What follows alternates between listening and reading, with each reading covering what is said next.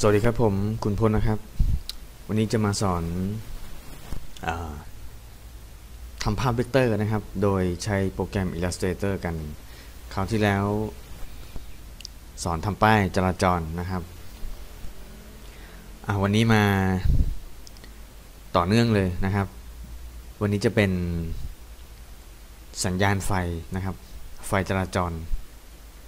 นะครับ เขียวเหลืองแดงนั่นแหละที่เห็นกัน ตามสี่แยกนะ โอเค เดี๋ยวมาเริ่มกันเลยนะครับ อ่า ผมเริ่มจากสี่เหลี่ยม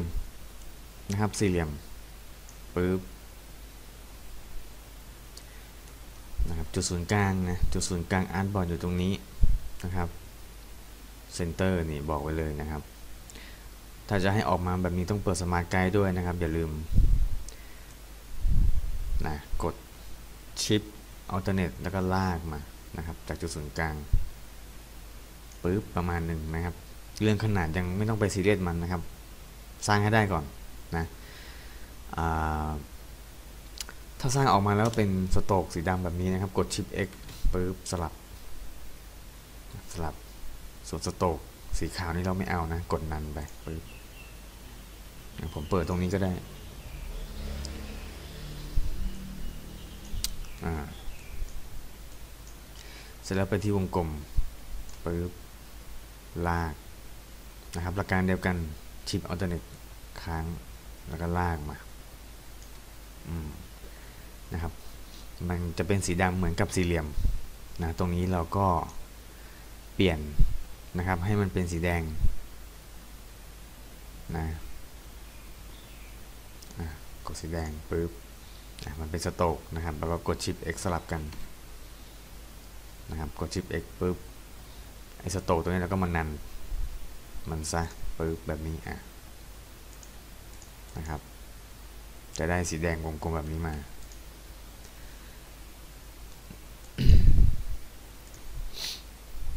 อ่าผมเปิดเลเยอร์ด้วย จะได้เห็นกันนะครับ สีแดงนะ สีแดงคือตัวนี้ตัวนี้นะครับ อะ copy มาหนึ่งชั้นปึ๊บแล้วก็ขยายมันหน่อยนะขยายมันหน่อย หลักการขยายก็เหมือนกับการสร้างนั่นแหละนะครับ กดชิปอัลเทอร์เนทค้างแล้วก็ดึงออกมานะครับมันจะขยายออกทั้ง 4 ด้านนะครับ ออกจากจุดศูนย์กลางทั้ง 4 ด้านนะแล้วก็เปลี่ยนเป็นสีขาว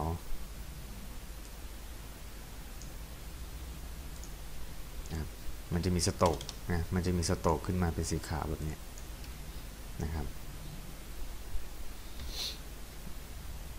ตัวนี้เราฟิลเรานันไปก่อนปึ๊บนะจะได้แต่สโตกแบบนี้ขึ้นมา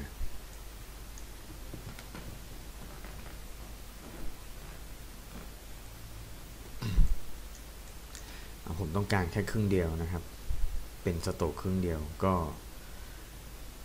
เอากันไกก็ได้นะกันไกมาตัด คลิกให้โดนจุดนะครับปึ๊บปึ๊บนะครับ กด delete สองครั้งหนึ่งสองอ่าจะจะได้ครึ่งวงกลมแบบนี้นะครับ เป็นเส้นแบบนี้ ผมมาเปลี่ยนโปรไฟล์ให้มันหน่อย โปรไฟล์ของเส้นนะครับ มันจะอยู่ตรงนี้อะสโตนะครับโชว์ออปชันโปรไฟล์พอกดปุ๊บอะสองสองด้านเนี่ย มันจะแหลมนะครับ เหมือนตัวโปรไฟล์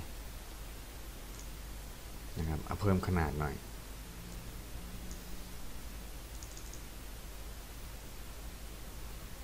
สักประมาณหนึ่งสักแปด นะครับ เราอาจจะใช้ลูกศรลูกศรบนนะครับ ขยับให้มันขึ้นบนไปหน่อย อีกนิดนึงก็ได้นะอย่างนี้นะครับ ทีนี้มาสร้างเงานะครับ สร้างเงาให้กับไฟตรงนี้นะพอมันมีตรงนี้มันยื่นมาตรงนี้มันก็จะเข้มขึ้น เพราะมันถูกแสงบังเอาไว้ นะครับผมอะเดี๋ยวทำให้ดูจะได้เห็นภาพ วงกลมตัวนี้นะครับ สีแดงผม Copy มามา Copy มา 3 ชิ้น1นะครับ1ที2ทีอะตอนนี้มี 3 ชิ้นแล้วนะครับ ชิ้นบน นะชิ้นบน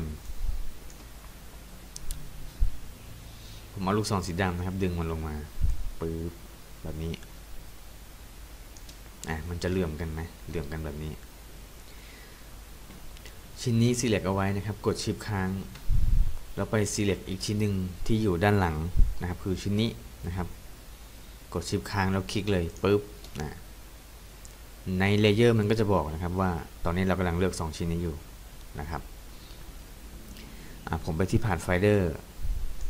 ผมไปที่ Pathfinder ตรงพาดไฟเดอร์ปึ๊บมาผมเอาตัวบนตัดตัวล่างนะครับ ใช้ตัวไหนเอ่ยก็คือตัวนี้นะครับไม่นัดฟอนปึ๊บชิ้นบนก็จะเหลือแค่นี้นะนี่คือชิ้นบน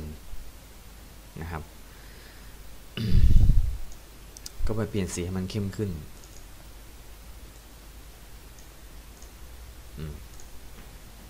นะครับก็จะเป็นเงาของมันนะครับเงาที่เกิดจากหลังคาไอ้ที่อยู่บนไฟตัวเนี้ยนะครับที่มันยื่นมานะครับ เป็นเงา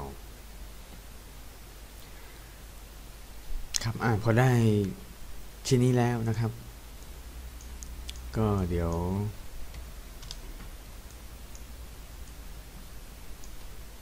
เอาลูกศรสีดำนะครับ คลิกตรงสี่เหลี่ยมเอาไว้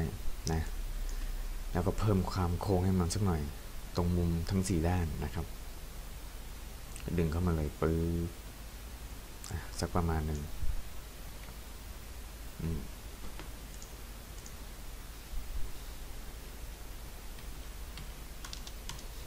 นะครับ แล้วก็ไปที่วงกลมนะครับ ไปที่วงกลม ไปที่วงกลมแล้วก็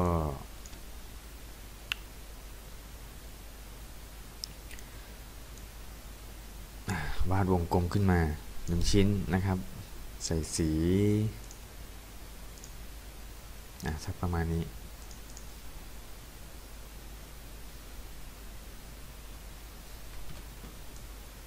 นะครับ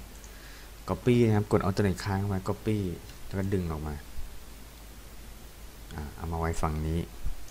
นะครับ กดชิปค้างเอาไว้นะครับ กดชิปค้างเอาไว้ เลือกทั้งคู่นะครับกดชิปค้างแล้วคลิกนะครับ แล้วก็ดึงมาข้างล่างปึ๊บ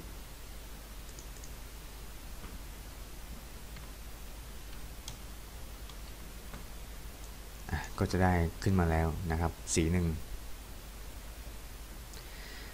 เลือกทั้งหมดแล้วกรุ๊ปเอาไว้ก่อนปึ๊บมา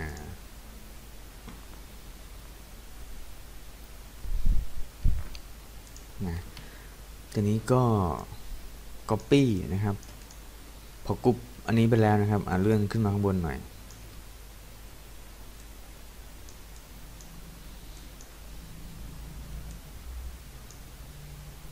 อ๋อ ตรงนี้มันเป็นเส้นอยู่นะครับ เราแปลงไปก่อนก็ได้นะ แปลงไปก่อนนะครับ เพราะว่าเวลาเราย่อเนี่ยนะครับ อ่า บางคนอาจจะเป็นแบบนี้ เส้นเปลี่ยนนะครับสเกลเพี้ยนสเกลของเส้นเพี้ยนนะครับแปลงไปก่อนแล้วค่อยย่อก็ได้นะครับ หรือว่าไปใช้ตัวนี้เอา Windows Transform นะครับ แล้วก็คลิกตัวนี้ Scale Stroke and Effect นะครับแล้วย่ออีกที เส้นจะคงคงที่นะครับไซส์จะไม่เพี้ยนนะครับ อ่า ตอนนี้มันกรุ๊ปกันอยู่นะครับ กด Alternate ค้างแล้วดึงล่างออกมานะครับ ให้มันต่อกันปึ๊บเอาลูกศรขาวเลือกชิ้นสีแดงเอาไว้นะครับ แล้วก็ไปเปลี่ยนสีนะครับ แล้วก็คลิกดูดที่ชิ้นนี้นะครับ เอา eyedropper นะครับ จิ้ม ที่สีนี้ให้มันให้มันเป็นสีเดียวกันนะครับ เอา eyedropper คลิกที่ชิ้นสีส้มตัวนี้นะครับ ให้มันเป็นสีเดียวกันก่อนนะครับ แล้วไปเปลี่ยนสีให้มันเข้มขึ้นนะครับ ก็คือให้มันเป็นเงาของมันนะครับ อีกชิ้นหนึ่งก็เหมือนกันนะครับ เอาตัวไหนคาง copy ดึงลงมา ให้มันติดกันปุ๊บอ่านะครับ เอาลูกศรขาว คลิกที่สีส้มนะครับ เปลี่ยนสีให้ให้มันเป็นสีเขียวนะครับ ตรงนี้ก็เหมือนกันปุ๊บ เอา eyedropper ดูดนะครับ คลิก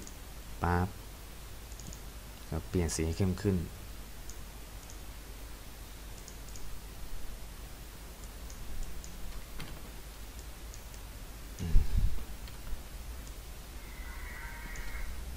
เราอาจจะ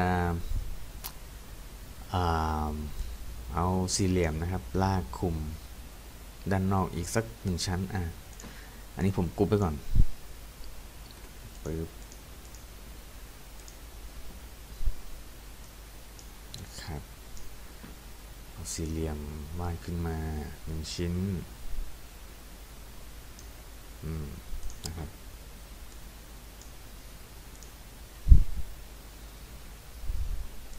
ส่งไปไว้ด้านหลังปึ๊บนะครับ จัดให้มันอยู่กึ่งกึ่งกลางระหว่างกันนะครับเลือกทั้งสองชิ้นไปที่ align นะครับ align ดูว่าเป็น align to selection หรือเปล่านะครับปึ๊บอ่ามันก็กดตัวนี้นะครับ center ถ้ามันไม่อยู่ตรงกลางมันก็จะเด้งมาให้มันอยู่ตรงกลางเท่ากันนะครับแล้วก็เซนเตอร์แนวตั้งด้วยปึ๊บอ่านั่นก็จะอยู่กึ่งกลางระหว่างกันแล้วนะครับสี่เหลี่ยมตัวนี้ก็บีบมุมมันเข้ามาสักหน่อย อืม ประมาณนี้นะครับ อาจจะใส่ขอบให้มันสักนิดนึงนะผมก็ไปที่ Object Path Offset Path นะครับ กด PU ดูก่อนปึ๊บใส่เป็นลบ 15ลบ 15 โอเคนะครับ ผมต้องการขอบสีขาวนะครับ ตัวนี้มันเป็นสีเทาอยู่ เพราะฉะนั้นผมก็ต้องเปลี่ยนสีให้มันเป็นสีขาวปึ๊บ นะครับ กดชิป X นะครับทำให้มันเป็นสโตกแบบนี้ แล้วไปเพิ่มขนาดปึ๊บสักประมาณนี้พอ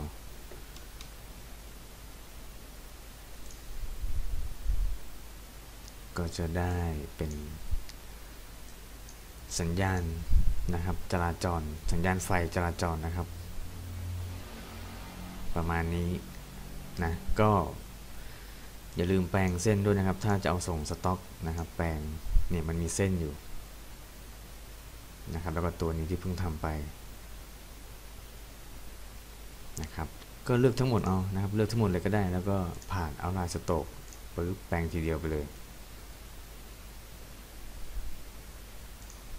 นะครับก็เป็นแนว flat design